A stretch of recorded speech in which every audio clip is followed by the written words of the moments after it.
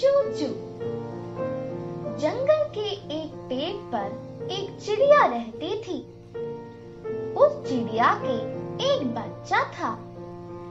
चिड़िया ने उसका नाम चूचू रखा था। वो चूचू को बहुत प्यार करती थी।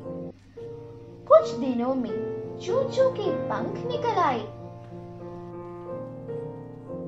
वो थोड़ा उठने लगा। चिड़िया कहा, बेटा, मैं दाना चुगा लेने जाती हूँ।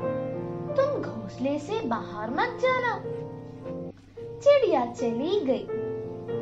इतने में एक बिल्ली आई। बिल्ली चूचू को पकड़ने के लिए पेड़ पर चढ़ने लगी। पेड़ सीधा था। बिल्ली नीचे खिसक गई। उसने कई बार कोशिश की। पर वो पेड़ पर ना चढ़ सकी। इसलिए बिल्ली प्यार से कहने लगी, प्यारे चूचू, मैं हूँ तुम्हारी मौसी। आओ, मेरी गोद में आ जाओ। चूचू ने कहा, मैं नीचे नहीं आऊँगा। मेरी माँ मना कर गई है। तुम जाओ। हाँक कर बिल्ली वहाँ से चली गई।